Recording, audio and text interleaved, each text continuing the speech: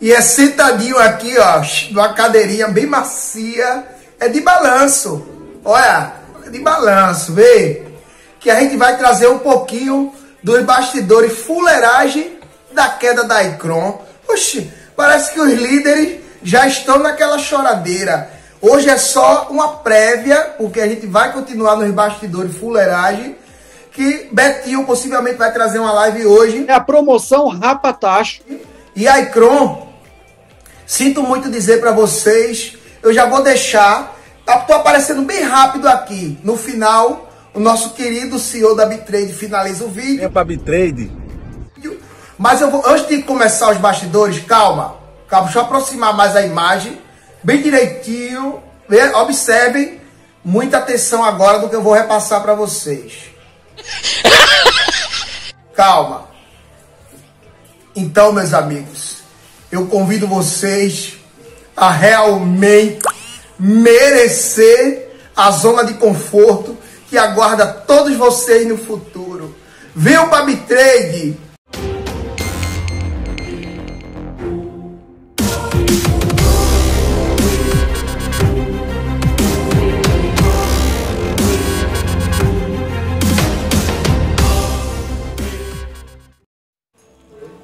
Líderes que indicaram, indicou porque estava confiando no projeto.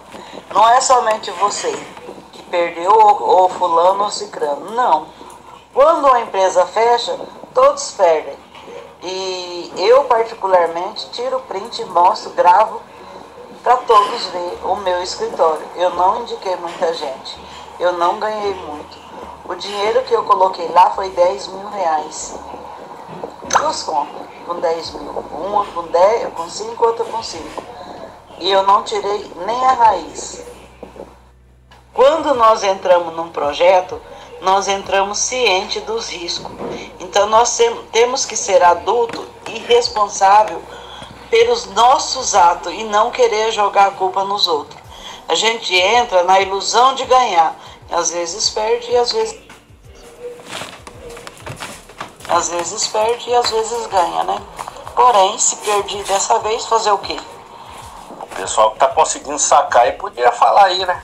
Pra, pra turma aí que conseguiram, entendeu? Pra turma ter um pouquinho de esperança, né? Mas é isso aí, gente. Né? Vai ter que jogar limpo aí com todo mundo, né? Que aí ninguém fica perdendo tempo mexer com isso mais, né? Igual de primeira aqui, uma alegria. Todo mundo apontava que ah, já recebi. Jogar comprovante é hoje. Olá, amigos da Icron. Eu sou o Ricardo, diretor de tecnologia da empresa. A gente tá todo mundo calado, entendeu? Mas tá tranquilo, eu perdi um pouquinho também, não tem nada a ver não. Eu só, com dó de um amigo aí que me indicou, coitado, hoje eu ia rasgar um negócio no meio com ele, mas tá. Ai, que delícia! Bom, vamos que vamos, galera. É isso aí, mas. Fazer o que? Olha, Marcelo, eu também desconfiei.